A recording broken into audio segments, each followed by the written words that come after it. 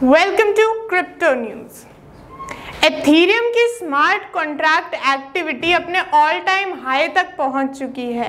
हम बहुत टाइम से कवर कर रहे हैं। एथीरियम नेटवर्क बहुत ज़्यादा बूस्ट कर रहा है।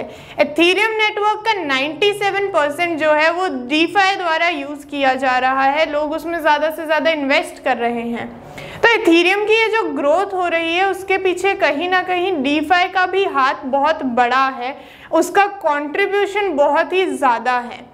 अब हम देख रहे हैं कि इथीरियम के जो स्मार्ट कॉन्ट्रैक्ट्स है, उसकी एक्टिविटी भी बढ़ चुकी है। क्यों? क्योंकि जो लोग हैं, उनका डीफाई की तरफ़ बहुत ज़्यादा इंटरेस्ट बढ़ रहा है। वो बहुत ज़्यादा भरोसा कर रहे हैं इस पर। डीफाई ने जब से ये अनाउंस किया है कि अब वो अंडर कोलैटरलाइज लोन्स की फैसिलिटी भी देंगे, लोग बहुत ज़्यादा बढ़ चढ़कर हिस्सा ले रहे हैं डीफाई में और वो बहुत ज़्यादा अमाउंट्स जो हैं, वो लॉक इन कर रहे हैं। इसकी वजह से डीफाई को भी फ़ायदा हो रहा है और एथीरियम को भी। लेकिन इसकी एक डाउन साइड है। जो एथीरियम नेटवर्क है, वो एक लिमिटेड नेटवर्क है। वो बहुत ज़्यादा कंजेशन फेस कर रहा है इसकी वजह से। क्योंकि डीफाई जो है, वो 97 परसेंट यूसेज कर रहा है और डीफाई की ग्रोथ भी उसकी वजह से कहीं ना कहीं रुक जाती है। क्योंकि अगर जो लोग डीफाई में इन्वेस्ट करना चाह रहे हैं, वो एथीरियम नेटवर्क को यूज़ ही नहीं कर पाएँगे। एथीरियम प्लेटफॉर्म के ज़रिए रजिस्टर ही नहीं हो पाएँगे तो डी में जो नई अमाउंट्स लॉक इन होने वाली है, या जो नए इन्वेस्टर्स पार्ट लेना चाह रहे हैं, वो पार्ट ही नहीं ले पाएँगे। तो इसकी वजह से क्या होगा कि डी की मार्केट हो सकता है एक स्टेगनेंस देखे, वहीं पर रुक जाए। इससे बचने के लिए डीफाई ने बहुत ज़्यादा कोशिश की है कि वो दूसरे प्लेटफॉर्म्स पर भी अपनी जो हाइप है उसको क्रिएट करें। एथीरियम की जो टीम है, उनका भी यही कहना है कि वो ट्राई कर रहे हैं कि इस कंजेशन को रोकें और जो हाई गैस फ़ी बढ़ रही है, इस ज़्यादा यूसेज की वजह से उस पर भी एक रोक लगाएँ। देखने वाली बात यही होगी कि क्या ये जो स्टेप वो लेने वाले हैं, उसका कोई इफ़ेक्ट होने वाला है। और अगर उन्होंने कोई मेजर स्टेप लिया तो उसका रिज़ल्ट क्या होगा मार्केट के ऊपर? क्या ये जो डीफाई की ग्रोथ है, वो और एक्सपोनेंशियली राइज होगी या फिर ये स्टेगनेंस देखेगा? इसका यूसेज यहीं पर रुक जाएगा।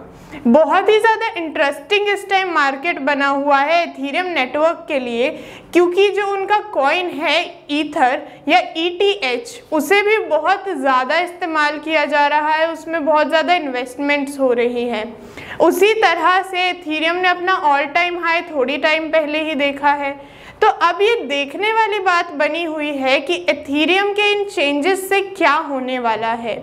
एथीरियम के ये जो स्मार्ट कॉन्ट्रैक्ट्स बढ़ रहे हैं, वो कितनी ज़्यादा ग्रोथ दिखाते हैं? इस ऑल टाइम हाई के बाद वो और कितना राइज करते हैं?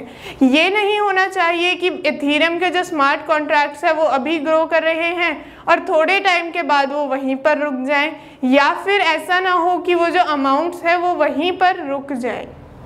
तो बस हमें देखना यही है कि जो एथीरियम मार्केट है, जो एथीरियम नेटवर्क है उसका लोग कितना ज़्यादा स्मार्ट कॉन्ट्रैक्ट्स के लिए और इस्तेमाल करने वाले हैं और ये कौन सी हाइट्स को टच करने वाला है?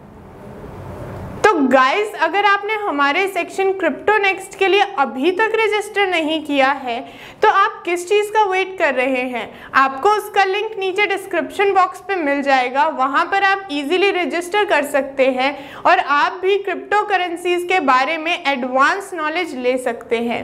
इस इवेंट के बारे में कोई भी अपडेट जानने के लिए हमारे फेसबुक पेज को फॉलो करना ना भूलें। Thanks for watching the video guys इस वीडियो पर लाइक शेयर और कॉमेंट ज़रूर करें। और हमें कमेंट सेक्शन में ज़रूर बताएँ कि आप क्या नया कंटेंट देखना चाहेंगे। अगर आपको फाइनेंस की दुनिया में बहुत इंटरेस्ट है तो हमारे चैनल को सब्सक्राइब ज़रूर करें। और बेल आइकन दबाना ना भूलें, ताकि आप हमारा कोई भी नया वीडियो मिस ना करें।